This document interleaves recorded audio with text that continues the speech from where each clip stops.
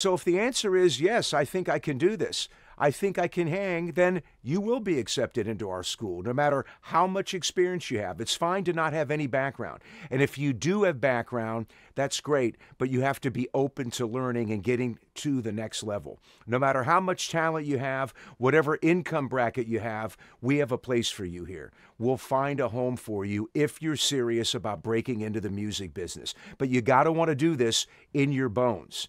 If you just thought about this last night, you're not the right candidate. But if you've been thinking about this and you know that your life will be miserable if you're not in the music business, then we're the place for you. We're going to put you in a real recording studio, a real place of business. You're going to get a real opportunity here, a real chance. You don't get that chance in a classroom. In a classroom, you're just a seat with 50, 60, 70 other students. With our program, you're in a recording studio, just you one on one. So let's get you accepted.